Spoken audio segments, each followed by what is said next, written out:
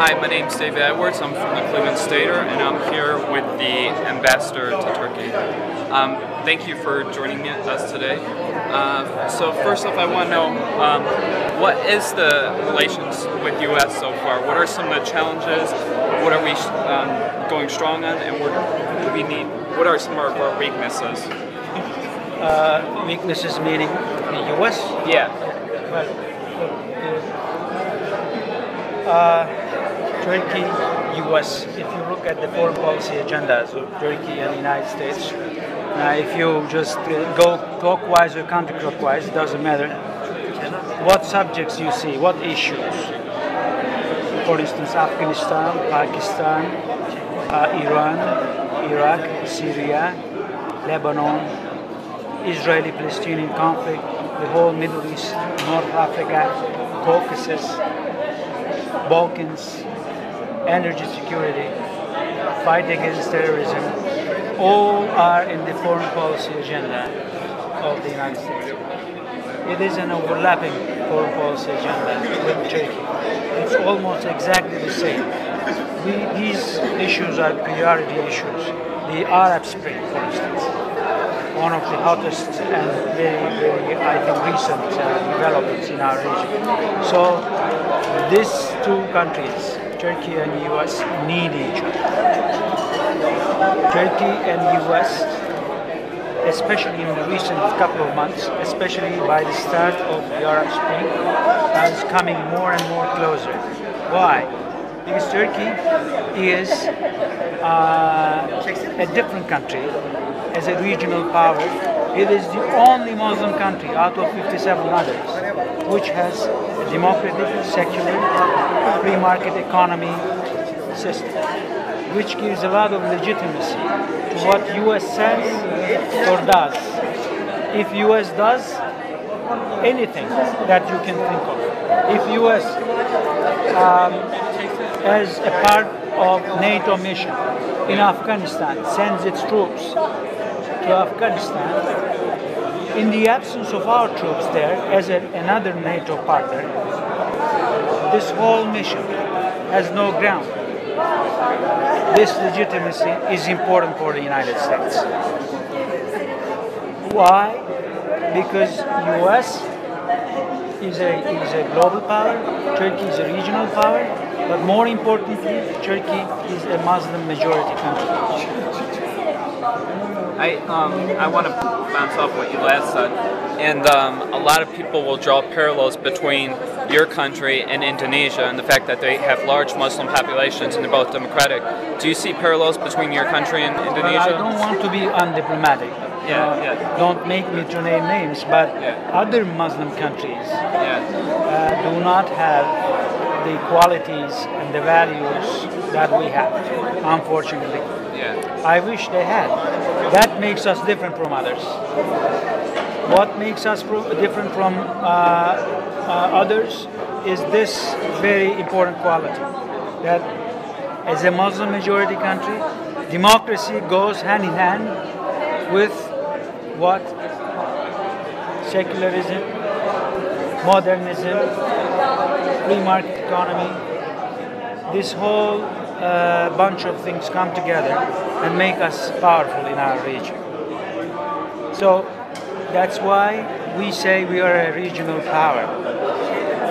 And with all, uh, I think, due respect to what, of course, other countries have done, but no, no, no other Muslim country, no other Muslim majority country has achieved 11.6% growth rate in the, in the first quarter of this year.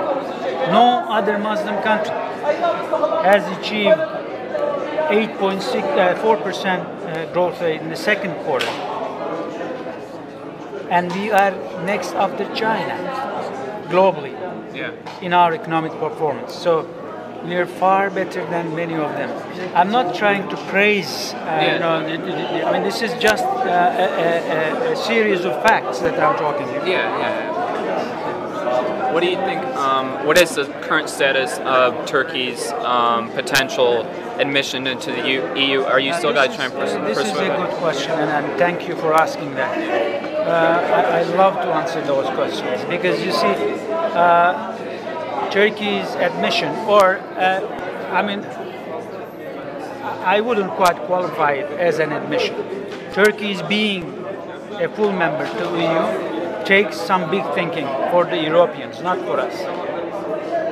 If they want to bring uh, a diversity, religious and cultural and social diversity into their civilization project, they have to admit Turkey or they have to accept Turkey as an equal partner, as a full member. If they don't, they will never become a global power. They will never become a balancing actor in the international fora. So, what they do today, we are far better than many of other uh, full members. I can name you names. It would be undiplomatic, so I won't do it. But uh, you know it better than I do. Anyone who would just go into the records of any country would see this. See this. One sick man of Europe, now the healthiest man of Europe, talking about Turkey. Yeah. So Turkey deserves this. What we want, we want, we don't want an admission or a, a, a full membership without uh, any uh, checks and balances. We want to be questioned through the values, whether we have embraced them, whether we have implemented them, or implementing, having an intention to implement it. But what they do, just the opposite. They say simply, you're a Muslim majority country, and you are so crowded, you can be a burden to you, uh, to the, to the uh, EU. This is wrong. We say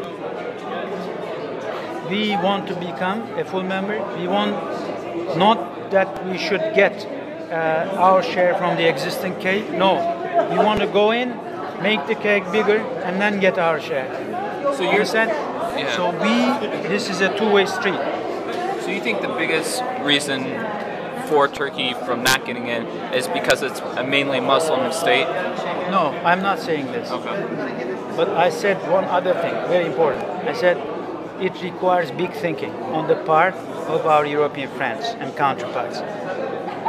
It should be a country with some talent or the, the peoples of those nations.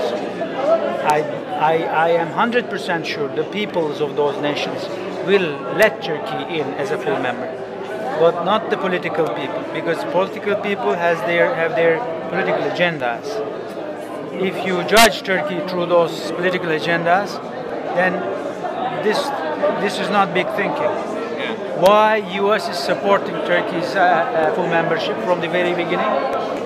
From the early the earlier days, one simple fact, because this is the land of big thinking. The people are taught to think big in this country. What um, there's been recent news reports saying that Turkey's starting to get more involved in what's going on in Syria. Do you think other countries should follow that model, or what do you think the um, what do you think should happen? Uh, uh, let me tell you this: Look, Turkey cannot cannot stay indifferent to those problems. Why? We have 950 kilometer border with Syria. It's adjacent. It's like uh, the, the, the Lake Erie. Yeah Just like that. Just take a moment and think, put yourself into the place of Turkey. We have 400 kilometer border with Iraq. We have 300 and something kilometer border with Iran. We have, uh, again, we have just uh, uh, at arm's length with, with uh, Middle East. So even if we push ourselves uh, or those people uh, away, we have family affinity, we have cultural and historical affinity with those people. So they will come and catch us. So what I'm saying, we have to engage with, with the people. Why? We want our region, our neighborhood, a peaceful one. We don't want any violence, we don't want any conflicts, we don't want any, uh, I think, disorder in the, in the adjacent areas or, and beyond. Why? In that in that uh, atmosphere, you would never achieve uh, or give your people uh, uh, the, uh, the, the more qualified uh, living standards. You cannot provide that. You cannot keep up and sustain your democracy if your neighbors, you know, right next to you, uh, think about uh, Mexico, think yeah. about Canada. Yeah. So I mean, you- have a ripple effect in your own. so yeah. That's it. So we have to be engaged. We have nothing to do with the regime. We are not just a- aiming at changing regimes there in any country. Yeah. It is not none of our business. What we want is peace and tranquility in our region. Are um, the relations between Turkey and Israel? The, how are the, how have they been recently? I have served in Israel as an ambassador before coming here. Yeah. So um, I know the people, I know the country. They're very, very vibrant. They're very sophisticated people. They're, I think, important players in the region. If you ask me to name three countries in the region, I would name Turkey number one, uh, Iran number two, and Israel number three. But what makes Turkey and Israel different from other, uh, the third country, is our democracies. We are the only democracies in that country, in that region. So uh, our relationship is natural. It's not a, a sort of. We have 60, 60 uh, uh, uh, 63 of uh, years of history of Israel. Yeah. Turkey is the second after the United States who recognize Israel as an independent state in the region. Do you think they? The only country. We have 519 years of history. You, what, is, what is Turkey's position on Palestine seeking UN statehood? Well, I think uh, we've, uh, from the very beginning, what we said is they deserve a state. Two-state solution is the only solution. There is no other way.